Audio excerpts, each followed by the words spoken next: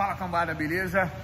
Fazer um videozinho pra vocês, tô sem até o microfone, tô sem nada, tô aqui, meu irmão, na cara, lavada, pra mostrar pra vocês um problemazinho aqui do Honda Fit, tá? O que que esse carro aqui é, acontece? Quando você não faz a sua revisão preventiva, é isso aqui que vai acontecer com o seu carro, tá bom? Então se você caiu aqui de paraquedas, meu nome é Felipe, trabalhei na Honda durante nove anos, o pouquinho que eu sei, venho aqui e passo para vocês, tá? A única coisa que eu peço, dá like, se inscreve no canal e enche o comentário. Vou mostrar para vocês a importância de você fazer a sua revisão preventiva para não acontecer isso aqui que está acontecendo com esse rondinho. Então, galera, quando a gente fala para vocês, faça a sua revisão preventiva, tá? Isso aqui tem o nosso kit lepra, né? Já começa mais um agravante aí. Mas faça a sua revisão preventiva, tá? Coloque sempre fluidos originais no carro, que é para não acontecer isso aqui, ó. Tá vendo lá dentro, ó? Aquilo lá tudo, ó, é sujeira, tá bom? Por conta do aditivo, tá?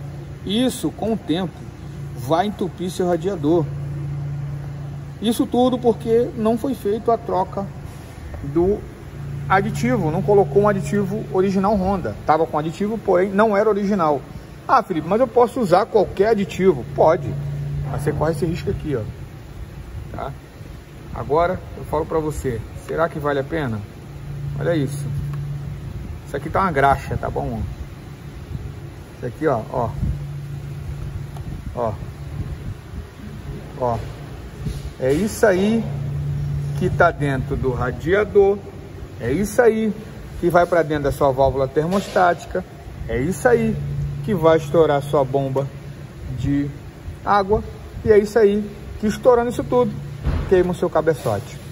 Não vale a pena passar por isso, tá bom, galera? Então um videozinho aqui, formativo, bem simples, para que vocês não passem por isso e não sofram, não doa aí no bolso, tá bom? Forte abraço. E mais uma vez, se curtiu aí o vídeo, Dá aquele like, se inscreve no canal e enche de comentários. Toda segunda-feira a gente faz live tirando aí as dúvidas que você tem com o seu rondinho. Esse canal aqui é feito para vocês que são rondeiro e rondeira de plantão.